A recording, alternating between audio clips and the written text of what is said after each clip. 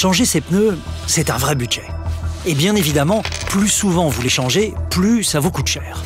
En général, on ne les change pas par plaisir. Et pourtant, figurez-vous qu'en Europe, les automobilistes les changent presque toujours avant qu'ils n'atteignent la limite fixée par la loi. Au fil de sa vie, un pneu est de plus en plus économe.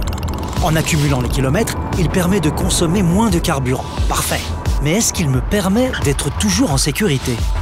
Si on pouvait les faire durer et rester en toute sécurité jusqu'à la limite indiquée, ce serait idéal pour notre budget. Alors, comment dépenser moins? Bonne nouvelle, l'Union européenne vient d'engager un changement de réglementation. À terme, seuls les pneus qui auront passé des tests à l'état usé sur route mouillée pourront être commercialisés. Vous pourrez donc faire le bon choix en toute sérénité. D'ici là, pour tout savoir sur la démarche, rendez-vous sur le site tousmobilisés pour des pneus ou chez l'un des professionnels de l'entretien automobile, Signataire.